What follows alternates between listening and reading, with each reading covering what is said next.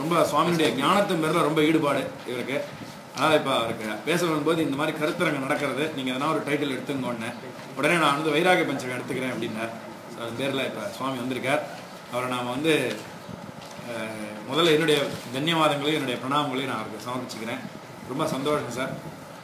ஒரே ஒரு சின்ன பாயிண்ட் ஒன்று ஆட் பண்ணிடுவேன் வைராக்கிய பஞ்சகம்ன்றது ரொம்ப இம்பார்ட்டன்ட்டு வைராக்கியம் முக்கியன்றதுனால ரெண்டு பேர் போட்டி போட்டுட்டு பண்ணியிருக்கா? இருக்கா?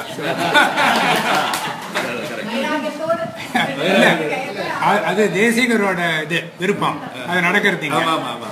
அவர் வ- ஞான வைராக்கிய பூஷணர். அதை. திரும்பி ஒரு தடவை செவிசாய்க்கணுன்றாரு என்ன செவிசாய்ச்சிட்டு இருக்காரு எல்லாருமா? இந்த வந்து அமர்ந்திருக்கிறதுக்கு பூர்வ ஜென்ம புண்ணியம். ரொம்ப சந்தோஷம் இருக்கு இந்த கோஷ்டியில அடியன் எப்படி வந்து சேர்ந்தேங்கிற கதையை நான் சொல்லணும்னு நினைச்சேன். அவரே பாருங்க அந்த கதையை சொல்லிட்டு முதல் முதல்ல அவர் கோபால் சுவாமி அவர்கள் வந்து என்ன ஆழ்வார்கள் வைபவம்னு ஒரு கேசட் வாங்கிட்டு வரணும் மெட்ராஸில் இருந்து. உங்களால் வாங்கிட்டு வர முடியுமா? அப்படின்னு வாங்கிட்டுறேன் நான் போய் அந்த இடத்த தேடி அவர் அந்த கேசட்லாம் பார்க்குறப்போ அங்கே இந்த தயாசதகம்ங்கிற புத்தகம் என் கண்ணில் இருக்கு.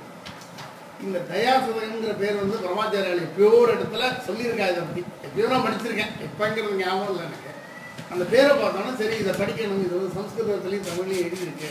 படிக்கணும்னு அந்த புஸ்தகத்தை வாங்கிட்டேன் அதில் சில பாடல்கள்லாம் படித்தேன்.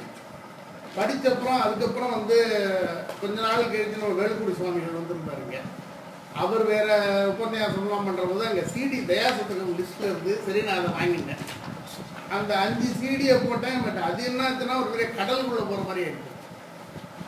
ஒரு ஒரு சீடியும் ஒம்பது மணி நேரம் பத்து மணி நேரம் இருக்கு. அப்புறம் எப்போதும் வேலுக்குடி சுவாமிகள் வந்து கிள்ளியே கொடுக்கறது இல்லை.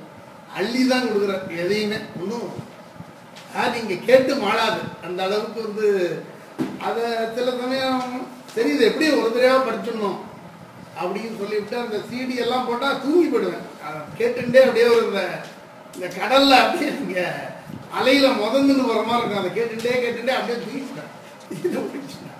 இன்னி வரைக்கும் அந்த அஞ்சையும் நான் கேட்டு பிடிக்கல அதான் அந்த அளவுக்கு வந்து ஆ நீங்க கவனத்தை செலுத்தி அவர் வேலுக்குடி சுவாமிகள் சொல்றதை கேட்டுட்டே இருந்தாங்க. ஒரு மணி நேரம் ரெண்டு மணி நேரம் மூணு எவ்வளவு நாள் கேட்பீங்க முடியாது. ஒரு நிலைமையில உங்களுக்கு என்ன அந்த கடல்ல அப்படி இந்த அலை மேல அந்த கட்டம் வந்து போற மாதிரி. அப்படியே போயிட்டு அப்படியே தூக்கிடும். அதே மாதிரி ஒரு நாள் கேட்டால் இந்த மாதிரி தூங்கிட்டு இருக்கேன் நான் வந்து தியானத்துக்கும் தூக்கத்துக்கும் ஒரு சின்ன லைன் தான். அந்த லைனை தாண்டிட்டேன்னு தெரியாம அப்புறம் என்ன பண்ணேன்? இந்த தயாசதகத்தை வந்து யாராவது பாடியிருக்காளா? அதை பாட்டு கேட்டு ஸ்லோகங்கள்லாம் கற்றுக்கலாமே அப்படின்னு.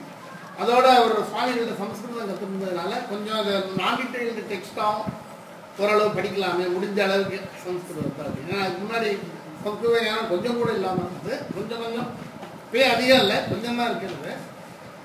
அப்போ படிக்க ஆரம்பிச்ச போது சுவாமிகள் ஒரு தடவை என்ன சொன்னாரா இந்த மாதிரி வந்து இது வந்து பிசிக்கலாக அந்த மலையத்துக்கு கூட